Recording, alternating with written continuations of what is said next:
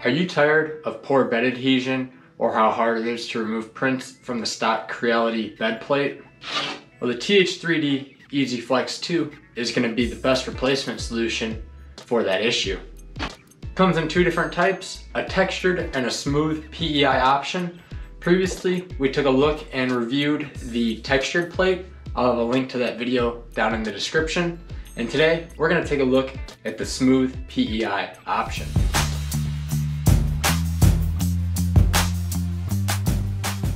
Personally, this is my go-to build plate when it comes to 3D printing. The smooth option gives a glass-like finish on the bottom of the prints and it comes out beautifully each time.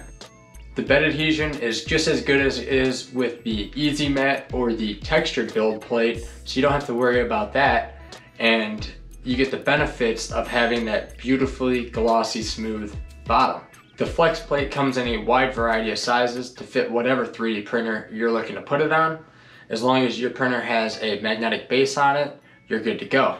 And if you don't have one for your printer, you can actually order a magnet from TH3D Studios as well. So they sell it as a whole entire kit or as just the flex plate. Along with having superior bed adhesion when compared to the stock Creality C-Mag or carbon silicone glass build plate, Another benefit is the ability to just flex off prints. No longer you're gonna have to take a scraper and start digging at the corners of your prints, hoping that it pops off without either breaking the bed or the print itself. With the EzFlex 2, you just simply flex it, as the name implies, and the print will pop right on off.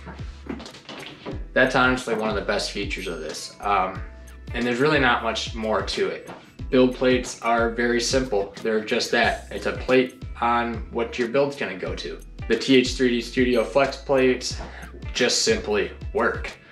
Prints stick to them every single time and I've never had a bed adhesion issue. I've read online that if you do start to have issues, you can take some isopropyl alcohol or just rubbing alcohol, it's the same thing, and clean off your surface and that should help out with your bed adhesion. You can also take a really fine grit sandpaper and lightly scuff up the surface. However, like I said, I've never had an issue with these plates. Everything just works. Kind of like all the rest of TH3D stuff. Uh, I hate to sound like a fanboy, but they do just put out quality products. So with that being said, this is the review of the TH3D EzFlex 2, the smooth PEI option. My name is Alex, and you're watching Modified 3D. If you enjoyed today's video, make sure to hit that subscribe button down below. That way you can stay up to date on all the latest and greatest content from Modified 3D, and it also helps support the channel. If you enjoyed today's video, make sure to give a thumbs up, and if you have any questions, feel free to put them down below.